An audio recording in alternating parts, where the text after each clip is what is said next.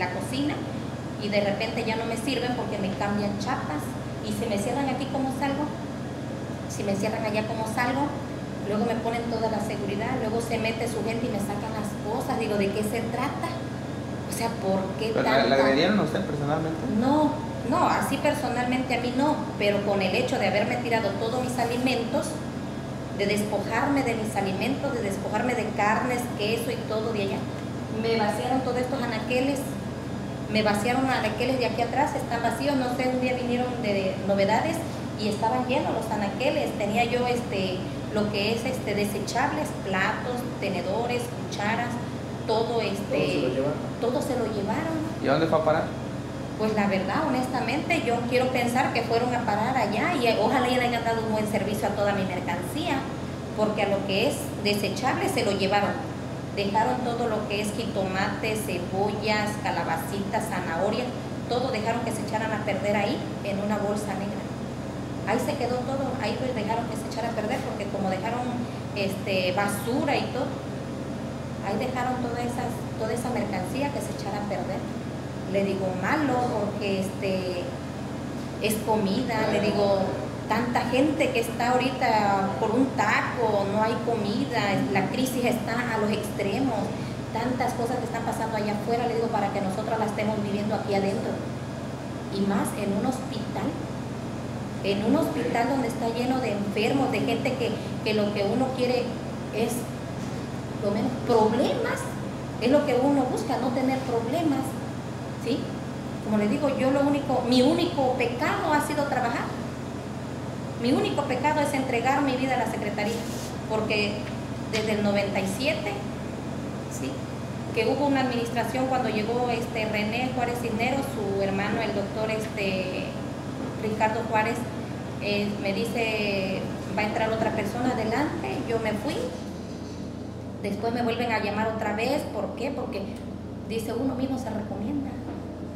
Si tratas bien al personal, si les das de comer lo que es una comida digna, si a mí me pagan 30 pesos por una comida, son los 30 pesos que yo le doy. Oiga, pero dice que usted hacía puro huevo y que eso le daba de comer a los No, pacientes.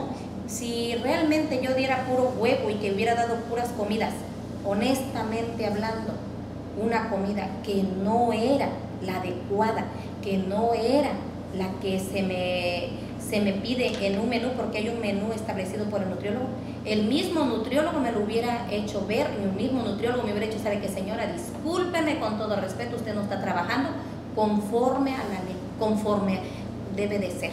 Pero hay usted- normas. Oiga, usted se apellida Toledo y el nutriólogo también. ¿Son familia? Esa es la duda que No tengo. No somos familias. Bueno. Dice afortunadamente, ¿no? Este, o desafortunadamente, porque sí me hubiera gustado porque es una persona muy este, noble, muy honrada, ¿sí? muy dedicada a su trabajo. El licenciado Abel Toledo Valdés, este, hasta donde yo sé es de Veracruz, yo soy de Chiapas, llevo 20 años aquí en Acapulco, pero en los apellidos pues nada que ver. Igual como hay personas ¿no? que dicen, me llamo Sonia Aguirre Alarcón y dice, soy familiar de Aguirre, de Ángel Aguirre, yo soy familiar. ¿no? Hay otra persona que dice, yo me llamo este, Ana Añorbe, dice, es mi tío, mi tío Manuel Añorbe. Aquí en esta situación, en este caso, me daría mucho gusto permanecer, as- o sea, ser parte de su familia porque es una persona de trabajo también. Eh, Él da consultas, él se va a sacar dietas, él hace lo que él tiene que hacer y nosotros lo que nosotros tenemos que hacer. Y Eso sí. cuando ha tratado él de que haya algo, alguna anomalía, rápidamente, ¿sí? Como cualquier otra persona. Para eso están. pues. Yo creo, Sí. para eso está, para eso lo puso la Secretaría. Yo pienso que el apellido no tiene nada que ver con la situación de- del trabajo. ¿Por qué? Porque por coincidencia, dice, y no es de ahorita, desde el 97, desde el 97 que yo entré aquí, me relacionaban, oye, no es tu pariente, le digo, no, no, no es mi pariente, ya estuviera yo diciendo, el nutriólogo es mi tío, el nutriólogo es mi hermano, medio hermano, ¿no?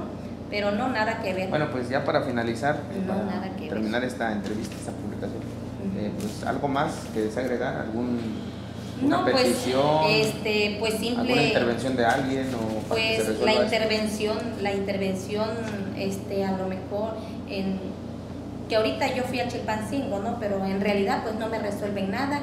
yo le pediría al gobierno del estado que sé que desde que él fue interino, el gobernador ha sido una persona muy honesta, muy noble, ¿sí? Y en su campaña yo anduve con él.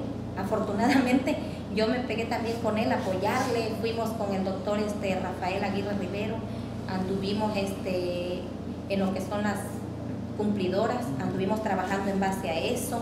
Y este, hicimos un trabajo. Y precisamente por eso le digo que el gobernador no sabía de toda esta situación y precisamente por eso en su momento no, no di ninguna declaración porque yo hice un trabajo con ellos y lo hice porque confío en, la, en, el, en el gobernador Ángel Aguirre Rivero porque sé que es una persona este, honesta y trabajadora desde que estuvo como interino. ¿sí? Las despensas a la Secretaría de Salud, a mí me encantó de cuando yo, aunque yo no soy de base, no soy de base, pero el hecho de que en su momento mandaba pavos en Navidad, este, unas despensas para todo el personal, mandaba despensas, y eso habla muy bien de una persona, ¿sí?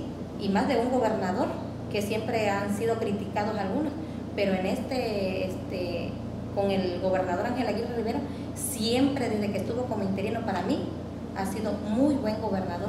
Y le digo, trabajé con él con lo de las cumplidoras. Mira, aquí están. Hasta todavía tengo, tengo este, del trabajo que yo hice, de las personas que yo adhería a lo que es a, este, promoción y andar con sus, las tarjetas. Tengo todavía papelería de las últimas que me quedaron después de que fuimos a votar, después de que anduvimos, porque mucha gente, se puede decir, la mayoría estuvo de acuerdo con como conmigo en que él era el mejor gobernador. Sí. Y no, no, no me dijeron, no dudo todavía. ¿Por qué? Porque desafortunadamente, le repito, hay gente que utiliza los cargos para hacer sin que el gobernador tenga el conocimiento de cómo se está trabajando. Y yo respeto porque también igual, ¿no? Digo, bueno, el gobernador no puede estar en cada dependencia checando que todos estén trabajando bien.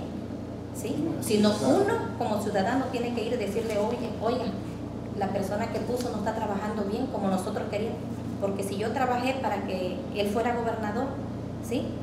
Yo siento que todos debemos de, trabajar bien y de hacer las cosas bien.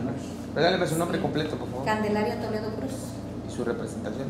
En, hasta este momento, encargada de la cocina que ya no está funcionando y que está allá abajo la otra. Están este, usurpando, se puede decir. Gracias. Sí. Gracias. Sí.